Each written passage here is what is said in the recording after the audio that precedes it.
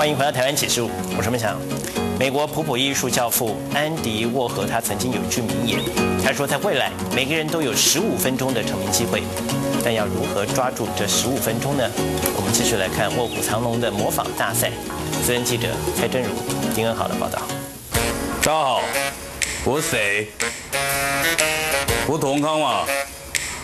欢迎收看今天启示录帮帮忙，我主持人屠洪康。那我们今天讲的主题是什么？讲的是模仿。他经常是说到这个模仿，干东西。最近有个叫卡古的，一直在模仿我。你知道你模仿我，这个在网络上造成很大的回响。真的假的？还是 OK 啦。卡古是谁？哇，这太惊人了吧！这，还要跟我呛这样？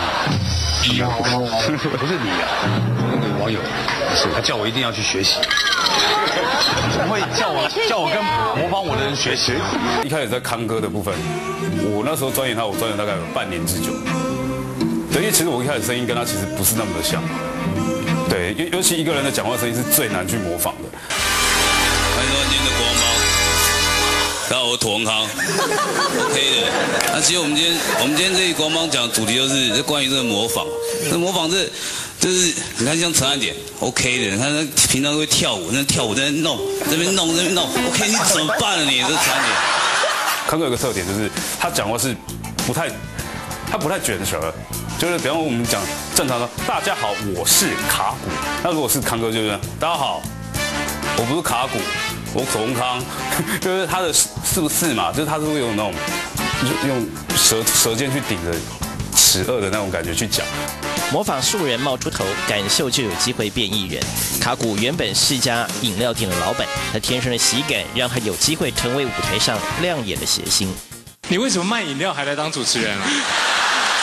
没有，就是因为在隔壁，然后我要跟邻居结缘，就是敦亲睦邻。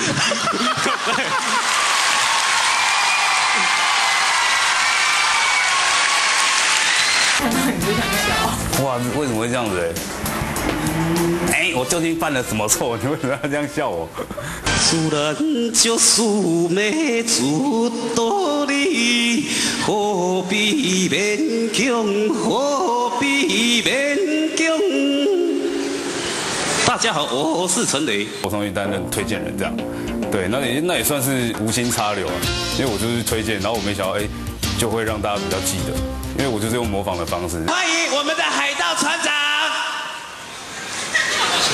各位同学准备好了吗？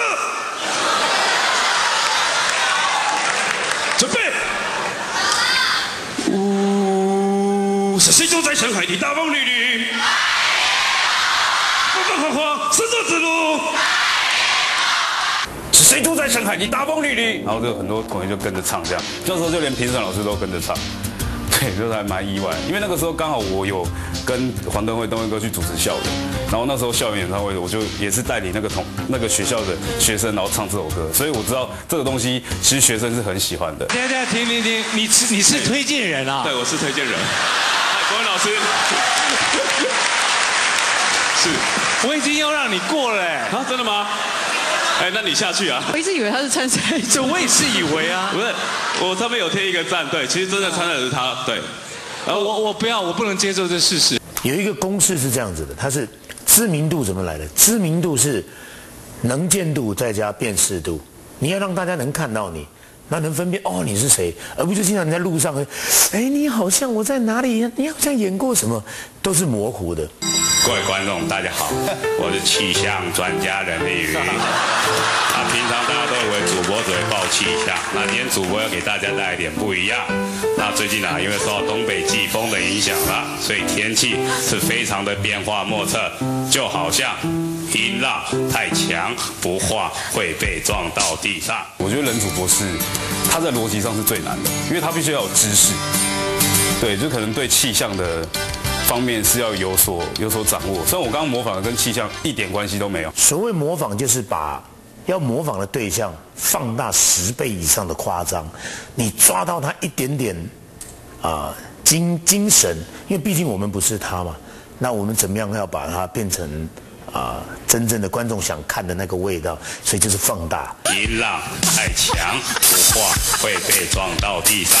音浪太强，讲一七十八点二 percent，金让太强，永波雅加达多赢事情的好天气。每个人都有十五分钟的成名机会，这短短的十五分钟，可得千万要把握住。我们先再请一下李四端出来哈，来直播。电视前的观众朋友们，大家好，我是李四端，马上带您关心今天的新闻。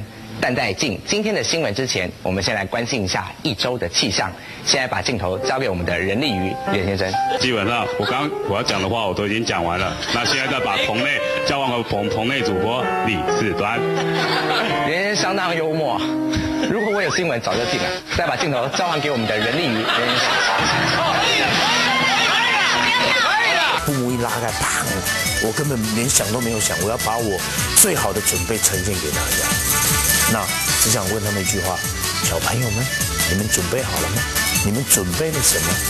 这个这么大的环境要等着你们来一起来耕耘，你们拥有什么？